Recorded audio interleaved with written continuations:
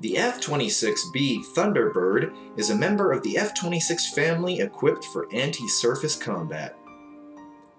Following the design of the F-26A Harpy, the Thunderbird here has a similar look, but deploys firepower to the battlefield completely differently.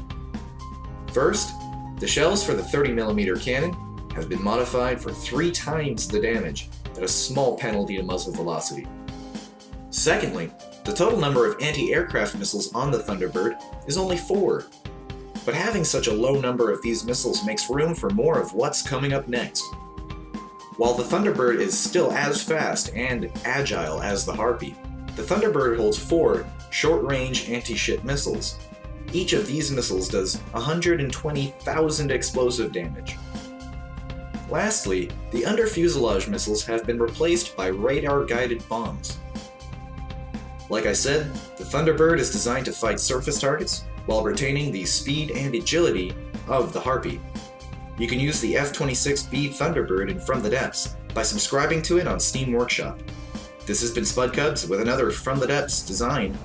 Hope you enjoy, and please, have a great day. Why? Why?